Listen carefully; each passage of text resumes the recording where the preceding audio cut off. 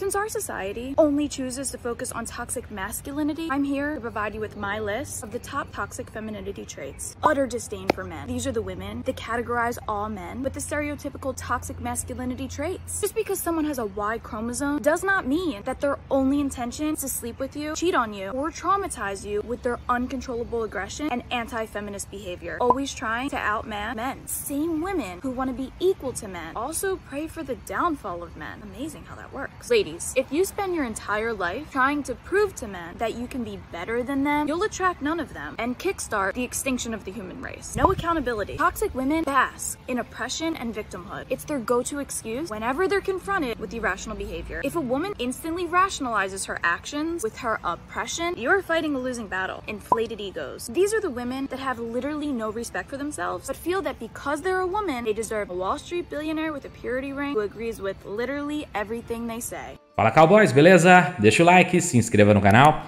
Bora comentar sobre esse vídeo que a moça fez, tá?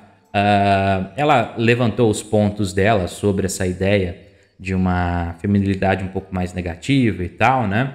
E que a sociedade ela foca demais, apenas na verdade, né? Uh, uh, naquilo que é ruim do masculino e que tem, tem muita coisa que realmente é negativa.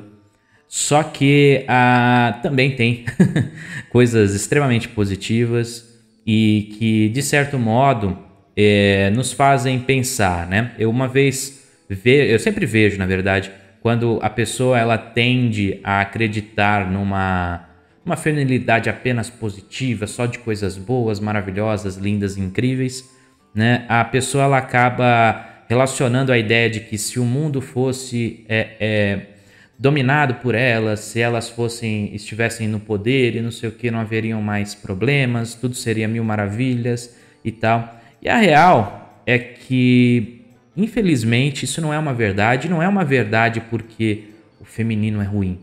É porque comportamento humano é assim. Você pode colocar várias pessoas numa, numa situação, sei lá, numa ilha, né, enfim, e se porventura o, uma mulher ser a, a liderança desse, né, desse local, desse espaço, ainda assim vai existir ciúmes, vai existir luta pelo ego, vai existir uma série de fatores né, que fazem parte tanto do comportamento humano, né? Terão diferenças? Claro que terão, tá? Só que não serão diferenças que é, é da forma como alguns gostam de tratar. Né? Então, eu acho que é importante compreender, na verdade, que principalmente aqui nesse canal, eu sempre falei isso para vocês.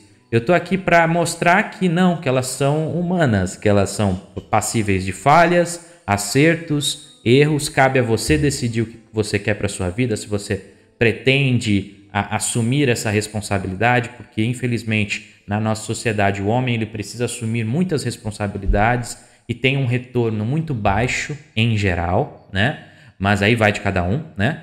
Então, por isso que quando eu falo sobre os assuntos, eu gosto sempre de tratar por esse lado, por o caminho de compreender o comportamento humano e baseado no comportamento humano, trazer para vocês justamente essa forma de reflexão, né? Então, como que você pode refletir acerca do que foi citado pela moça do vídeo, né? Você percebe que muitos desses comportamentos que ela levantou e tal, acabam sendo apenas a, a puro e simples reflexo de como a sociedade é construída, trabalhada e como que muito do, do feminino enxerga às vezes a figura masculina como uma espécie de ameaça, justamente por conta né, de toda a, a, construção de anos e anos né, da humanidade e de como o homem to, tomou esse papel né, de liderança muitas das vezes por N fatores. Tá? Então, a, acaba que na maior parte das sociedades, mesmo aquelas que não se comunicam, né? É, é, é, enfim, várias e várias é, é, tribos, vamos dizer assim, e ainda assim, na maior parte das vezes, não todas, veja só, mas na maior parte das vezes, a figura masculina costuma ser a figura de destaque.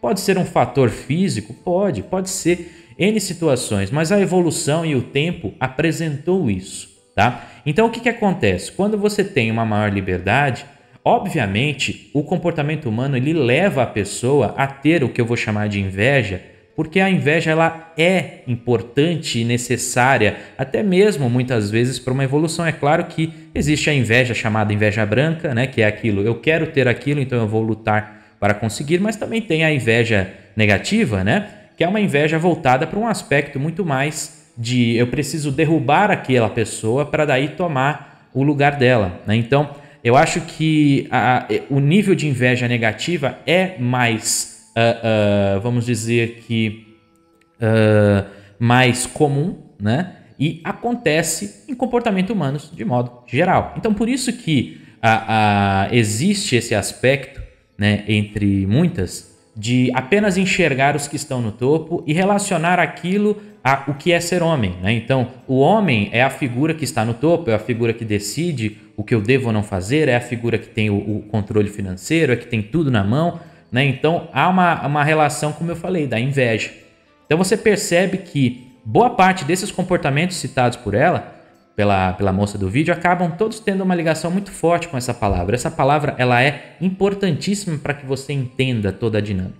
Tá? Então, por isso que quando eu viro e falo para não ter problemas, não ficar, né, é, é, vamos dizer assim, chateado com o, o, o, feminino, é porque na real isso não, não passa de apenas mais uma relação do comportamento humano, de modo geral, e que se você estiver numa posição muitas vezes similar, então vamos supor que você é um cara que tem um irmão que ficou muito mais famoso, muito mais rico, muito mais bem sucedido do que você, pode acontecer desse sentimento ser parte integrante da sua vida também, tá? Então, há essa dinâmica, há um discurso que leva muitas a acreditarem nesse aspecto também, mas é um discurso que tem ligação com que sim, um discurso vazio, um discurso a troco de nada, ele nunca vai ter a, adeptos reais, né? É, é, é, então, o que acontece na verdade é que esse discurso ele tem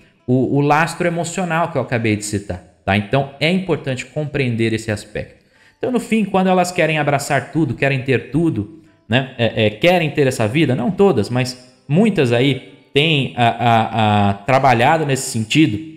Eu posso ter tudo, eu posso ser tudo, ninguém tem que me julgar por nada e tal. É muito, muito dessa característica mais a, negativa né, de um lado feminino, como ela apontou no vídeo dela. Tá? Então, agradecer aí ao trabalho da moça que fez esse vídeo. Agradecer vocês também pelo apoio aqui do canal, né? Com as mudanças e tudo mais. E se você apoia esse canal, se você tem interesse, tem a seção de membros, caso seja ah, válido para você, tá? Tem também aqui o link na descrição com o meu livro, né? O Faroeste God and Guns, tá? E fiquem à vontade na seção dos comentários, sempre com muito respeito né? Como eu sempre falo para vocês nos avisos por aí, tá bom? Então é isso, cowboys. Espero que tenham gostado do vídeo de hoje. Se você curtiu, deixa o like, se inscreva no canal. Tamo junto e até a próxima.